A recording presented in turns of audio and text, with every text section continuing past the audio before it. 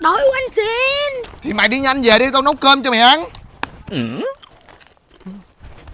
à, à, Cái gì cái gì Mày muốn được ăn no không Muốn chứ Thằng tí kìa tao mới- Ê sao mày lại bỏ học Có, có đâu Ờ, Có có có có có có Hôm nay tao phải thay cha mẹ xử lý mày mới được ê ê ê ê hai anh em có gì thì từ từ nói. Không có từ từ hết. Mày hả mày? Thôi thả em ra đi đừng có đánh em. Có gì về nhà nói. Đừng qua Mày cười chưa? Mày cười chưa? Không? Anh xin ơi Em chưa em chưa Ờ, vậy, vậy, vậy, Hôm nay tao tha cho mày nha. Dạ dạ. Ủa là sao vậy trời? Anh đâu